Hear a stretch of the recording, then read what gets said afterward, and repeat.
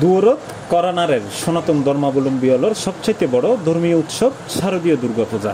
সারা দেশের মতো ফুটি উপজেলা তো চলের দুর্গোৎসবের আয়োজন। এককিনিদ্দি চলের সুন্দর সুন্দর প্রতিমা নির্মাণের হাস অন্যমিককে চলের মণ্ডপ ও মন্দিরগিরি সাজসজ্জার হাস সারা রাত জায়গায় কাজ করতে হয় এখন। দুই চার দিন পরে ঠাকুর ডেলিভারি ঠাকুর নিয়ে যাবে। প্রতি বছরের ন্যায় আর যে ফটিয়ার মধ্যে যে দুর্গা পূজা গান করি ইয়ান ফটিয়ার একশো তিরাশিয়ান পূজা মণ্ডপের মধ্যে এই রামকৃষ্ণ মিশন যে পূজা মণ্ডপ পত্তন ব্যাগ কিছু নিয়ন্ত্রিত হয়। এন্ডি ফটিয়েশ্বর বেশ কয়েকখান পূজা মণ্ডপগুলি ব্যস্ততার চিত্র লক্ষ্য করা গিয়ে। এসব মণ্ডপের বেশিরভাগেরই মাটির হাঁস শেষ হয়ে চলের রঙের হাঁস। আর বড় বড় মণ্ডপ ইন গিরি দেখা গিয়ে নির্মাণ করার বড় বড় গেট।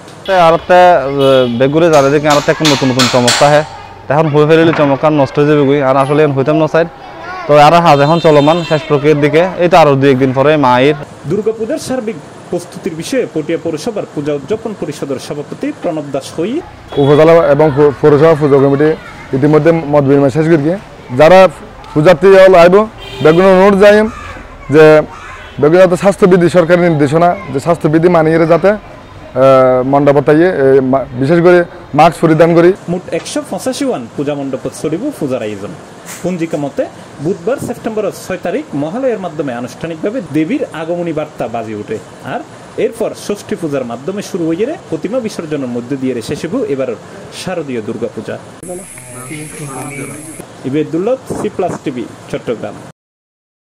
বদ্দা আফা, ওনারা যারা আর বিডি কিনছন ওনার দুঃখজনক হলে সত্য যে আর আটচল্লিশ পার্সেন্ট মানুষে কিন্তু সাবস্ক্রাইব ন করে। তো অনেকে সাবস্ক্রাইব করছেন না, অনেক যদি সাবস্ক্রাইব নকরি তখন অনেক আজ এত কেন সাবস্ক্রাইব করি না।